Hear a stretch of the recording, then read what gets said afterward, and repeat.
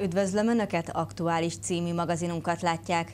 Szombaton ünnepli Szarvas újratelepítésének 300 éves fordulóját a település.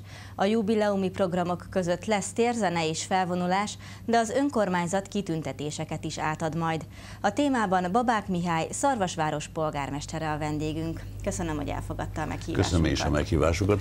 Köszönöm, hogy Békés Csaba odafigyel Szarvasra is, és ez nagyon jó esik, hogy hálás vagyok érte. Mégpedig azért, mert azért 300 év az egy igen jeles szám, de hogyan indult a település története? Lehet-e azt tudni? Ön hogyan tudja, mióta lakják azt a térséget?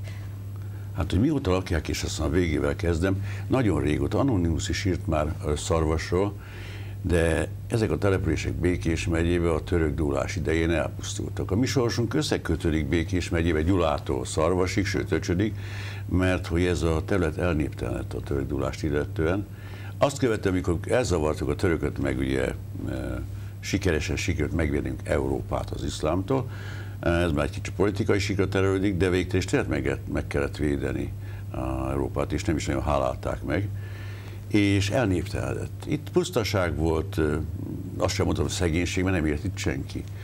Akik tehették, azok fölmenekültek a, a, a Kárpát-medence széleire, lent is, és különösen a felvidékre vándoroltak el, mert meg kellett védeniük az életüket, a megélhetésüket kellett biztosítani.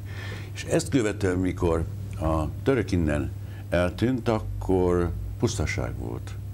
Viszont nagyon szép hely, itt a Körösök völgye, és az Alföld, ez csodálatos táj. Nehéz is megélni itt, mert csak a mezőgazdaságból lehetett akkor tájt is, és mostanság is erősen kötődünk hozzá, de huncutok voltak az osztrákok, mert ugye a császárság alatt megismerték a magyarokat, és úgy gondolták, hogy nem a magyar földbirtokosokra, mondjuk akik Kassatáikán telepettek le, vagy a Kárpátok aljánál, nem őket hívták vissza, és nem a korábbi földtulajdonosokat is magyarokat, hanem a tótokat hívták vissza, mert kevésbé volt gond számukra, könnyebben alkalmazkodó néptömegről volt szó, és az is érdekes volt még ebben, hogy, hogy, hogy, hogy, hogy maga Harukker, aki ezt a területet kapta, Gyulától egészen öcsödik, az császári királyi beszállító volt, és a hadi érdemei a kenyér kapcsán, amit ugye Magyarország búzájából csinált lisztet és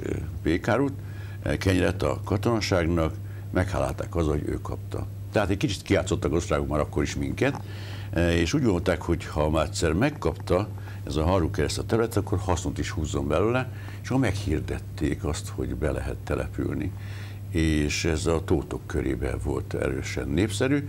Ki is küldtek ilyen betelepülőket, toborzókat, és aztán akik ide érkeztek, akkor itt pedig a császári udvar képviselőivel, azaz Harukker képviselőivel megállapodást köttek. Úgyhogy ez a megállapodás megszületése 1722. júliusában volt, ezért Szarvasnak a születésnapja, újra telepítésnek születésnapja az erre napra esik. És most vagyunk 300 évesek, úgyhogy lehet nevezni születésnapnak is, meg letelepedésnek, meg letelepedési szerződéskötésnek. Egy a dolog lényege, hogy ennek a területnek élnie kellett, hasznot kell termelnie, és voltak, akik fent eh, nem tudtak úgy földet művelni, mert nem voltak eh, jó buzamezők, meg sok egyéb más, és voltak sokan is, mert azért innen a Kárpát-medencéből eléggé a szélekre kerültek a magyar családok. És akkor ezek a letelepedésnél tartunk, az ünnepi programok között fog szerepelni a letelepedési nyilatkozat megújítása. Ez kik részéről hogyan történik majd? Hát megpróbáljuk eljátszani, hogy ez hogy történhetett régen. Én fogom aláírni, de nyilvánvaló, hogy a, a föld birtokosával és a tulajdonosával fogom aláírni ezt a megállapodást, hogy mi itt letelepedhetünk. Tehát bemutatjuk azt egy kicsit képszerűen is, hogy hogyan történhetett mindez, és még annyit hadd mondjak ehhez a dologhoz, hogy ezeknek az embereknek ide települtek, meg kellett élniük. És ezek a telepesek, akik hangsúlyozom nem szlovákok voltak, ez akkor nem volt Szlovákia, hanem tótok voltak, állítólag az ős csenyelvet beszélték, és ezt beszélik ma is még a tótok, megélhetést kerestek. Házat, hazát, templomot építettek, iskolát, és megpróbáltak megélni. És ezt nagyon jól csinálták rájuk nem jellemző módon, bár Tessedik megemlíti egyszer-kétszer, hogy Tato Bugye, szóval nem szeretik a változást, majd meglátjuk, és amikor újakat hozott, és ugye manapság is csak összehasonlítom a tulajdonságait, ma is férünk az új dologtól, nem szeretjük a bizonytalanságot, akkor ezt szerezték, szóval be szerették, nem túl sok minden változott. És késeltették azokat a fejlesztéseket, de el kell mondanom azt, hogy nagyon okos emberek költöztek ide, és nagyon egészségesek, mert tudták, hogy a közösség erejében nagyon sok lehetőség van, épp ezért gyülekezetek jöttek létre. Nagyon büszke vagyok arra, hogy, hogy Békés Csabán is itt telepettek meg először a szabad vallás gyakorlás miatt a tót atyafiak, és ezt követték a megye számos településén is. Ezek olyan közösségek voltak, ahol a papok nem csak a hitelt tanították, hanem a hétköznapi élet praktikumára. Szarvason például az Ótemplom, azt sose tudni pontosan, hogy hány főt fogad be, de 3500-5000 főig.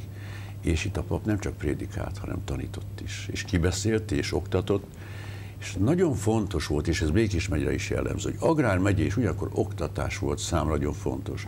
Ez ma is nagy igazság, hogy tudás nélkül nem tudunk jobbat, él, jobbat élni, és többet tenni.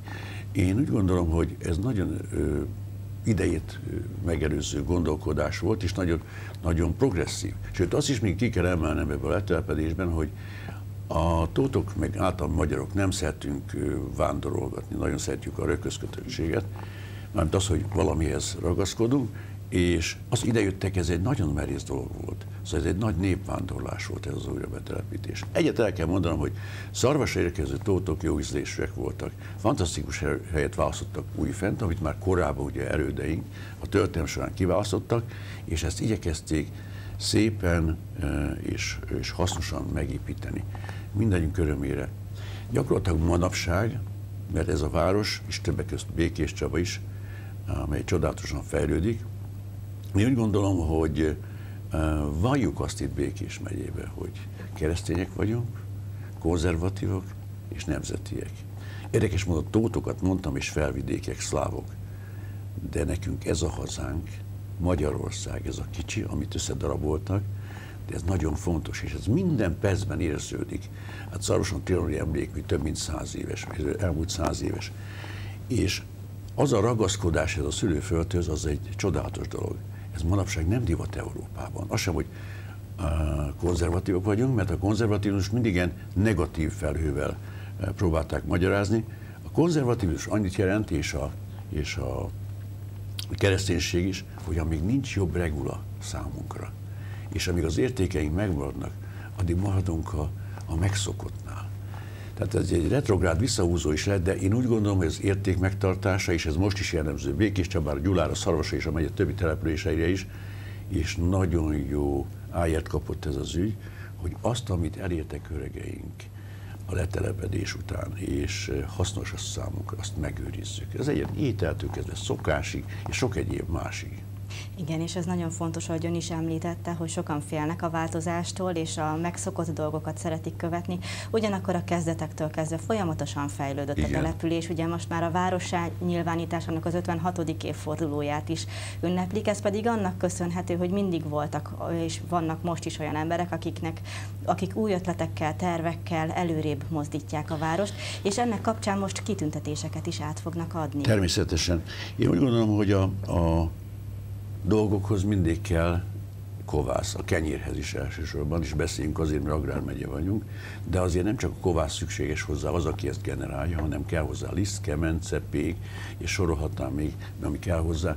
Tehát nagyon sok progresszív polgártársunk van, ha most szarvasról beszélünk, akkor szarvasi van, akik tanulnak, az ország különböző pontján szerzik a tudásukat, mint például a Tesedik is, javítani kellett a földet, kiment Németország, megtanulta a kémiát, hazajött és javította a földet. Azt vallotta, hogy nem csak a túlvilágon kell jól élnünk, hanem meg kell próbálnunk ezen a világon is. Mekkora bölcsesség.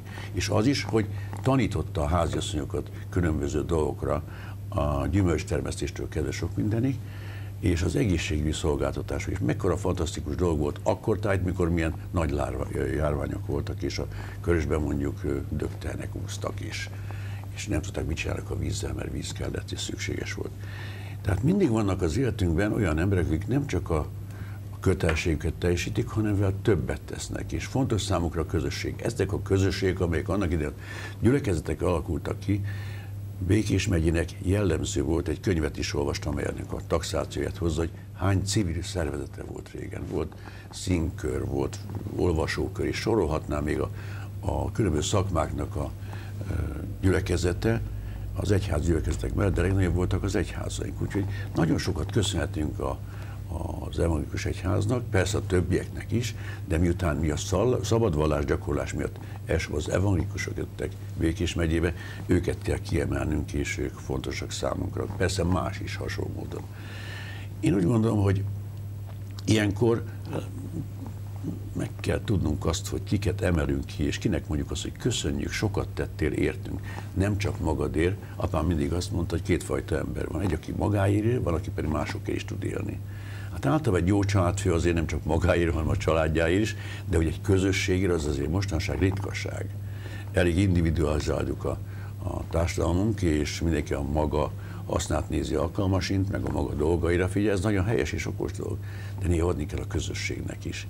És vannak szarvasan sokan, minden évben jelentős számú elismerést adunk ki, szeretnénk megtisztelni azokat, akik a közvetlen munkakörükön és a jövedelemszerzésükön túl valamit tesznek a város közéletéért, fejlődésért, kultúráért, hagyományozésért, és nagyon büszke vagyok arra, hogy nekünk sok mindenben nem kell új gondolatokat kitalálni, csak vissza kell állítani a régit, és helyre kell tenni az egyháziskolákat, a színházat is, és a környezetvédelmet is ott voltak, annak ide a borzák, micsoda csodálatos arborétumot építettek. És ez adott egy stiket a városba, viselkedésben és a, a zöld gazdálkodásban is, és majd szeretik a kerteket az emberek. Tessedik idejében egy kicsit összetiporták, mi vagyok a kertet, mikor gyümölcsfákat ültetett, de beláttuk, hogy gyümölcs az jó dolog. Ahogyan Békés Csabán, úgy a környező településeken is, Szarvason is, ahogyan említette, kiemelt szerepük van a tótoknak. Ma a mindennapi életben mennyire van jelen az, hogy odafigyelnek, kiemelt figyelmet adnak a nemzetiségeknek, akár oktatásban, kultúrában, vagy bármelyik más területen? Én azt szoktam mondani, hogy hogy a gyöket nem szabad elvágni. Szóval akkor várhatunk termés, gyümölcsöt, hogyha nem kaszáljuk el a gyökerét a fának. Nekünk a gyökereink valahol szlávságban van. És ha ezt megkívánják tartani, akkor megad minden lehetőséget. Azt hiszem, hogy elsőként adtuk át a szlovák országos önkormányzatnak az általános iskánkat és óvodánkat. Aztán szlovák színházat is csináltunk, és a, a tánckarunk az a Kárpát-medencei táncok, mert kifejezetten a szlovákok dalait és táncait is játszák. De Békés megye, agrár agrármegye, egy kultúrmegye. Szóval sokan, kevesen hiszik, és sokan gondolják, hogy nem, de azért itt magas a diplomák száma, nagyon különösen most tapasztalom, hogy nagyon sok gyerekünk két-három diplomát szerez, és megállja a helyét. Sajnos az a baj, hogy Békés megvan ez a hátültője, így szarvasnak is, hogy az értelmiség az igencsak máshogy keres magának megélhetést, nem a hagyományos szakmához hozja vissza, de vagy idősebb korában, vagy általában a családjához mindig visszajár, nekünk a gyerekeink szintén Pesten élnek és hazajárnak, és sokat vannak itt örömünkre, mert ez a megye nagyon szép. Azt szokták mondani, hogy Békés megye, Gyula, Békés Csaba és a többi település köztes Szarvas is annyit fejlődött, hogy Pesten audimenzionáltabb szolgáltatások vannak, mint itt Békés megyében is Szarvason. És akkor egy kicsit nézzük meg a szombati programokat, ugyanis akkor lesz a nagy ünnepség a városban, mire számíthatnak a látogatók? Hát sok mindenre és sok szépre. Meghidettük a programokat, és várunk mindenkit, többek között békés csabajokat is, gyulajokat is, de még most hadd mondjam el a programok előtt, hogy szóval mi összetartozunk itt Békés megyében. Mindig fölnéztünk a békés csabajakra, nem mindig szerettük egymást, ennek politikokkal voltak régesen, régebben, de e, gondolják el, hogy a Ladi család a szarvasi család. Tehát volt egy migráció belső Békés megyében is, és aztán jöttek még nem csak tótok, hanem mások is. Ennek nagyon egészséges genetikai következményei vagy eredményei voltak, és még azt a mondatot befejezve, hogy nem szeretjük a változást, most sem szeretjük a bizonytalan, nem pontosan kiszámíthatót, de én nagyon szoktam értékelni azokat a civil javaslatokat, amelyek kicsikét előrébb mennek. Bár esedik, és a Biblia is mondta azt, hogy aki ére áll, mindig legyen elképzelés a jövőt illetően. És aki nem ismeri a történelmét, és nem tudja értékelni a máját, és a jövőjét se tudja megszerkeszteni. Én úgy gondolom, hogy Békés megyes benne Szarvasváros jellemzője is, hogy a, ezek a települések a múlt, a jelen és a jövő városai.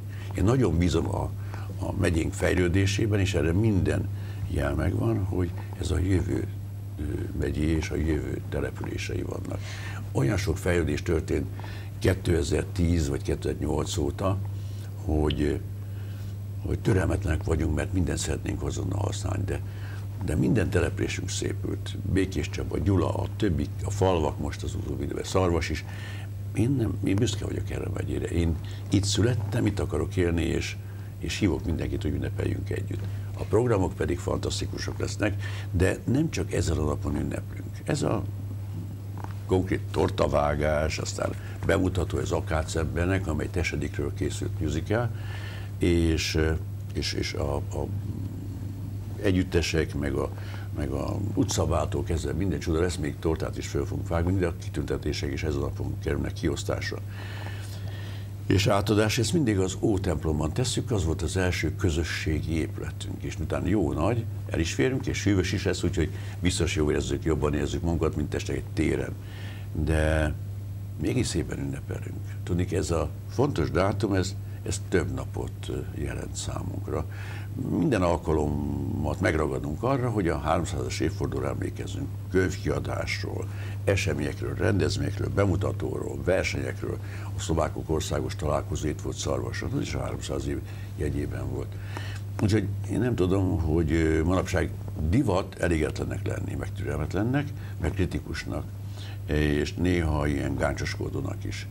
Ezeket a tulajdonságot nem vetettük még a teljes egészében, úgyhogy van még hátra munkánk, de alapvetően megtanítottuk és megtanulunk örülni azoknak, amik vannak. Tudnik azért mindig mindenki, egy település lakosság is tett. Azt szoktam mondani, hogy Szarvasnak minden egyes rögébe ott van az erődök vére, izzadsága, szándékai, törődése, küszködése, mert ezt csak így lehetett létrehozni. És azért vagyok büszke, mert egy, egy, egy, egy semmiből, egy pusztasságból, egy élettelen térből Békés megyeiek egy, egy csodálatos megyét varázsoltak. Polgármester úrnak köszönöm, hogy a vendégünk volt, és szombatra pedig akkor méltó ünneplést kívánok az egész településnek és a kiérkezőknek. Köszönöm is. szépen városom polgári nevében. Ez volt az aktuális, holnap ugyanebben az időpontban jelentkezünk magazinunkkal. Maradjanak továbbra is velünk, viszontlátásra!